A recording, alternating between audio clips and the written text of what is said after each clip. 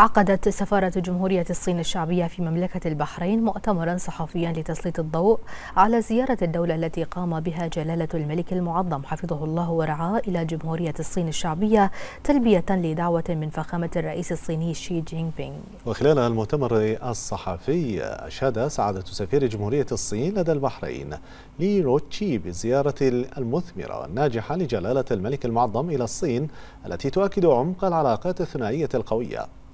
هذا وتأتي زيارة جلالة الملك تزامنا مع الذكرى الخامسة والثلاثين لتأسيس العلاقات الدبلوماسية بين البلدين.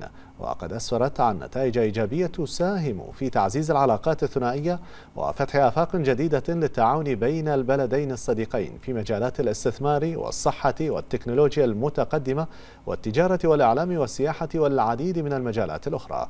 ما يسهم في تعزيز العلاقات الثنائية بما يحقق المزيد من التقدم والازدهار للبلدين الصديقين وشعبيهما.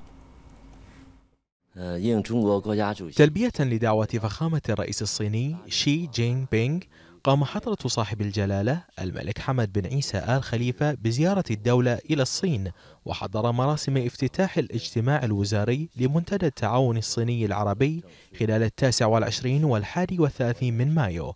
خلال الزيارة أجرى الزعيمان مباحثات رسمية وأقام فخامة الرئيس الصيني شي جين بينغ مراسم الاستقبال الرسمية ومأدبة العشاء بمستوى أعلى لجلالة الملك. لذا فإنها زيارة تاريخية مهمة.